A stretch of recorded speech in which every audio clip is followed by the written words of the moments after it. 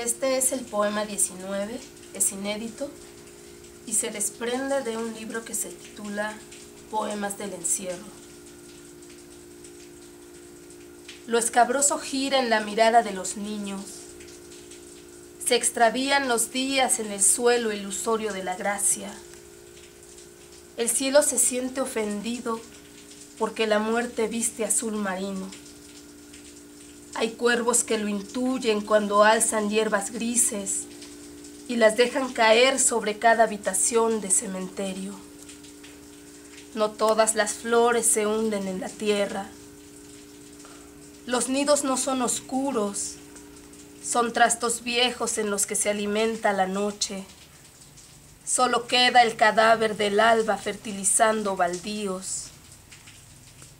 El dolor es hocico de bestia que deglute lo encarnable. Surgen goterones de bruma que sostienen relaciones promiscuas con el polvo. Lo turbio llega a establecerse en las cabezas.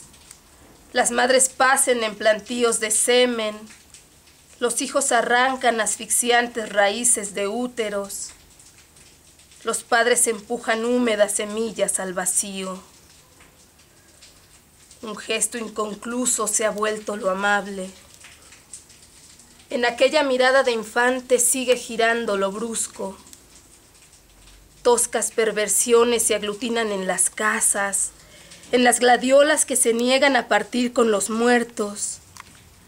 Los muertos cargan los pétalos dislocados de sus manos y otras manos escarban en los lodazales Esperan que el hallazgo no sean muñequitos de azufre, ni los pedazos disgregados de un sonámbulo que se perdió al perseguir la luz y la llovizna.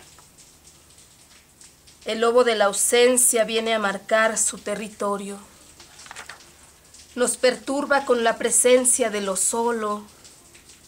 Nos vuelve locos con el sonido de los goznes nos somete con la puerta y sus aullidos, y después se aleja con sacos llenos de piedras.